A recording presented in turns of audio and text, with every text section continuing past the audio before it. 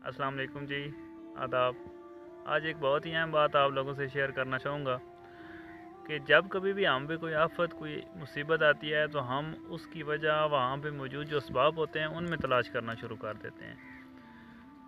मिसाल के तौर पर एक एक्सीडेंट हो जाता है तो हम ये समझते हैं कि स्पीड ज़्यादा थी या रास्ता ख़राब था, हालाँकि ऐसा नहीं होता। कोई भी हादसा या कोई भी मुसीबत हमेशा हमारी अपनी ज़ात की वजह से आती है। हमारी अपनी ज़ात की कमी को कोताही ऐसी होती है जिसकी वजह से हमें ऐसी आफत या ऐसी मुसीबत का सामना करना पड़ता है।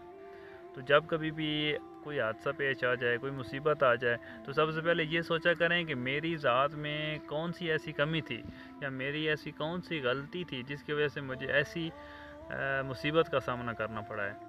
याद रखें, कोई किसी का कुछ नहीं बिगाड़ सकता। सिर्फ़ ये हम खुद होते हैं जो अपने लिए ऐसी चीज़ें पैदा कर देते हैं जिनकी वजह से हमें ऐसे मसाइल का सामना होता है। अल्लाह ताला हमें नागानी अफात से महफूज रखे। अल्लाह ताला हमें अपने हिफ्स अमान में रखे। अस्सलाम वालेकुम वरहमतुल्लाह।